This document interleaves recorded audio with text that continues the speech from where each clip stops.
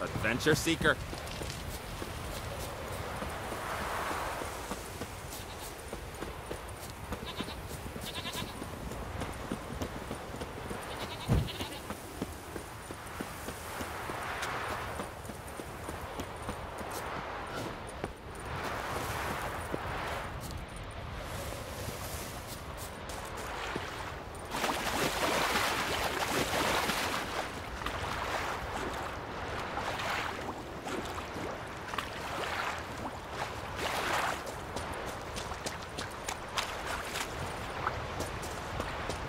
Must be the place.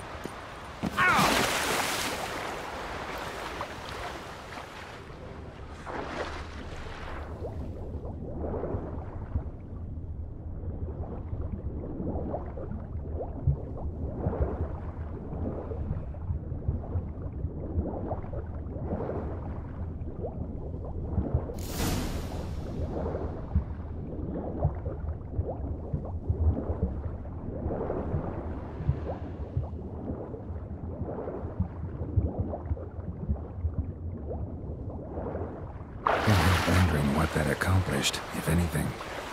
Time to see Udalryk.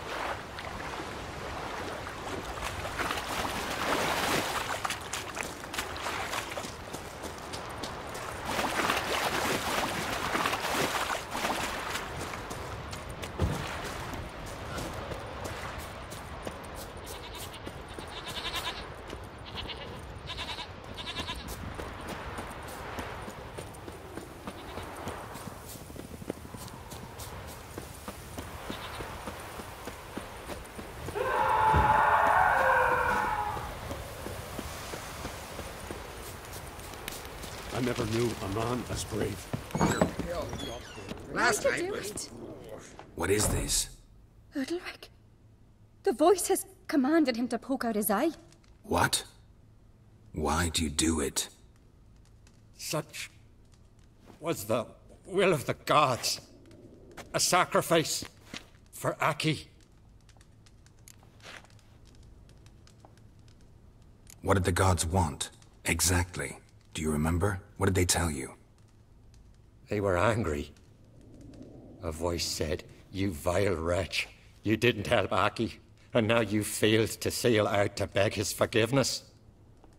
Poke out your eye, suffer, and regret the evil you've wrought. When did the gods speak to you? Right after I left? Shortly after, sleep came over me, so I lay down. 'Twas then they revealed their will to me. You always asleep when they speak to you? Always What do you see then? Do they try to summon you anywhere specific? my old home. They command me to light torches, then speak from the shadows.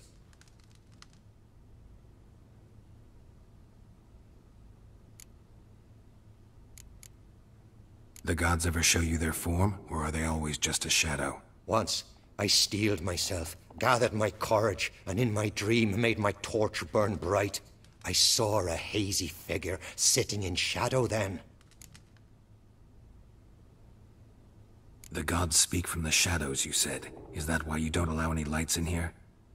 In my dreams, at times I see their form, when the torches burn bright. To see the gods is a great honor. Maybe with more light in your house, you'd see them when you're awake as well. Lesser men are unworthy. They cannot gaze upon their faces. The gods always demand you offer them your suffering. Only that pleases them, so they ask for more and more.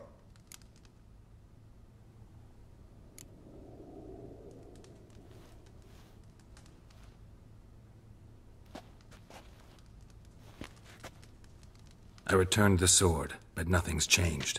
It's not his brother's ghost that haunts him, tortures him. What's wrong with him? Can we talk somewhere in private? The guest room. Come.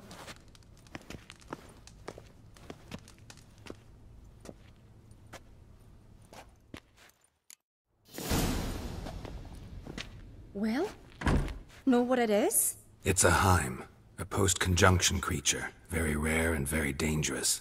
It latches on to men who commit vile deeds. It feeds on their pain for years, fueling their guilty conscience. In the end, Hyms force their victims to mutilate themselves. Sounds unpleasant. Any way to defeat it? Hmm. Two methods that work. In theory. Witcher's bestiaries say you have to spend a night in the Hyms lair with the affected individual. The haunted house, you mean? Hardly cozy, but I wager you've slept in worse conditions. It's not about sleeping. You've got to draw the Hym out. It has to emerge from the shadows, show itself. Can't hurt it otherwise. And it's sure to give as good as it gets. You've seen Udalryk. It won't be an easy fight. What's this other way? They say a Hym can be tricked. You have to pretend to do something horrible. Then it'll move on to you as its new victim. When it realizes it's been tricked, it'll be forced to leave. Great. Let's try it. Don't know anyone who's pulled it off. Or maybe no one's thought up a trick that was good enough. I know you're doubtful, but we should at least try to find a way to trick the Hym. Might not be as simple as it seems. Besides, neither method's perfect. What do you mean?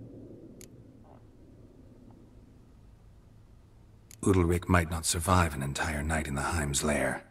You think the Hym... Would it try to kill Udalryk? No, that would mean losing its host. But Udalryk could just... expire. He's weak, and the house will summon painful memories. Whereas to the Hym, that'll be an opportunity.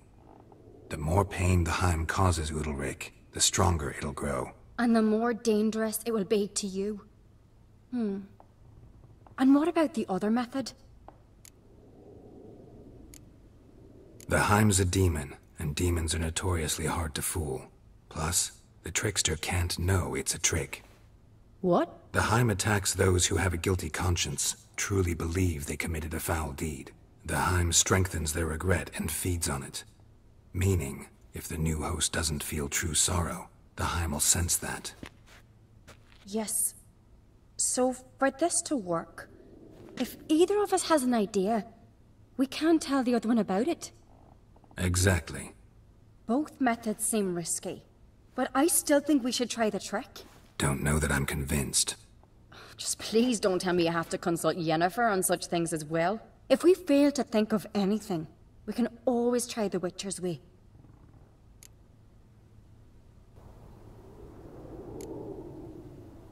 What is it with you and Yennefer? Mentioned her several times already. Nothing. I've just noticed that you're often of one mind. Saying I'm henpecked. Not that you're especially different. Seems to happen to all men. Take a rowdy Skelliger, a brave knight, or a tough witcher. You all end up wrapped around some woman's finger.